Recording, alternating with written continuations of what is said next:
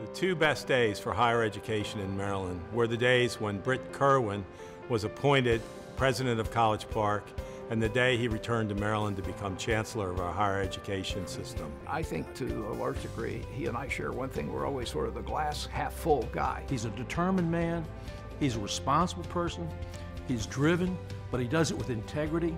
Brit is a consummate, natural born leader. What Brit has brought to Maryland and to the country is an authenticity. He puts students first and actually um, goes out of his way to make students a priority. He's an inspiration because of his leadership. He takes that southern accent and that drawl and does and he, and he just does it with enthusiasm. He makes everybody happy to participate. His insistence on collaboration is what has made him so effective in dealing with the business community in Maryland. He's pressed for the affordability of college educations. He's been for diversity. Not only to recruiting and recognizing the accomplishments of minority students, but increasing the, um, the retention of the faculty at the time as well. He's elevated the entire higher education system of the state of Maryland. This is a man who really believes in the power of education to transform lives. I admire your deep and unwavering commitment to the University of Maryland. It's been the driving force uh,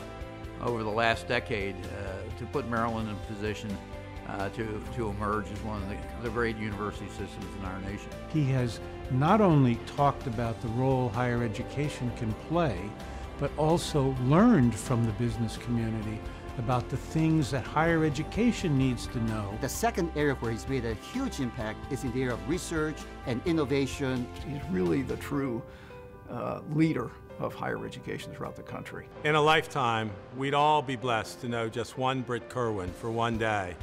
But we've been spoiled in Maryland.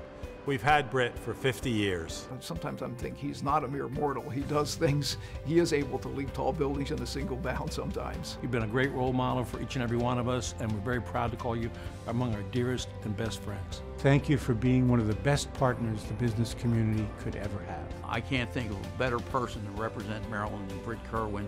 I want to wish him all the best. Thank you not only for putting me first, as I've been one of your students and mentees, but also for putting all students in the University of Maryland system first. Brit, you've heard me use that word neoteny before, meaning this characteristic of being forever young, and always believing that things can be better and having hope. That's what you do for us. Thank you. Thank you, Brit. Thank you, Brit. Thank you, Brit. Thank you, Brit. You've been an incredible leader for our system and our state. Thank you for your passionate commitment to higher education.